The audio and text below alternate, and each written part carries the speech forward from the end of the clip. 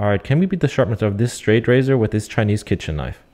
Round one. All right, razor clocks in at 88. Crazy sharp right here. Let's see the knife. One, two, three. 726. That's well above the 500. Yeah, that's dull. Round one, razor wins. All right, let's do a proper sharpening. We do the tumbler rolling sharpener and our magnetic holder. We're using the 15 degree sharpening angle.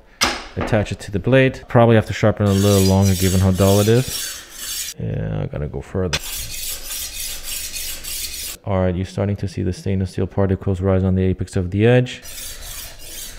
Check for the burr and remove it with the stainless steel helix disc before polishing the edge with a leather strip.